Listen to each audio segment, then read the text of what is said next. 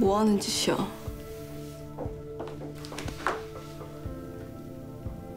잠깐만 봐달라고 하는 거야. 혹시 우리 목소리 커지면 하정이 놀래잖아.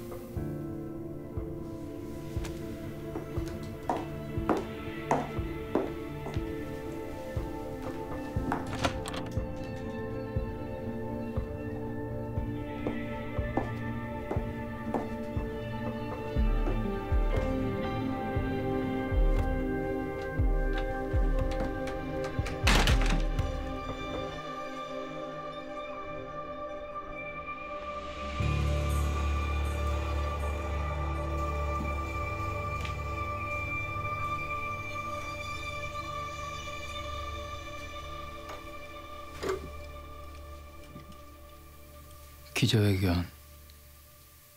네 뜻대로 하라고 필주가 여기로 데려다 놨다던데.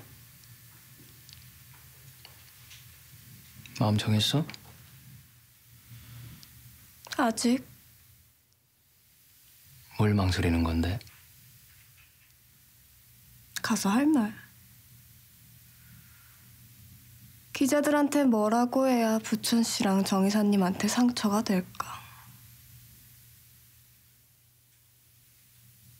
그게 안 정해져서 망설이는 중이야.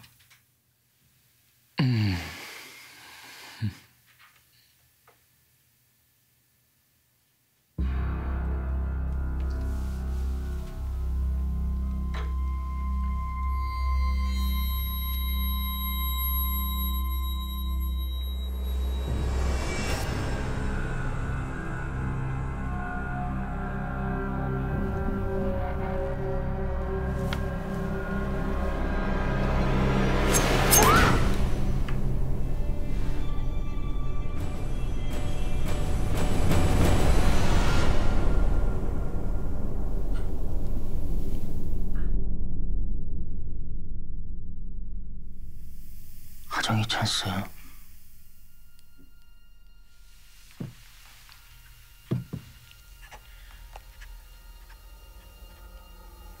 내 선아.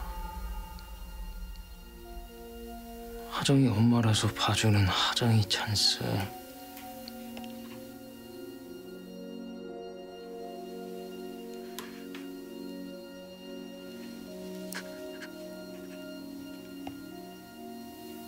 일회용이다. 넌 그 찬스 지금 막 써버렸어.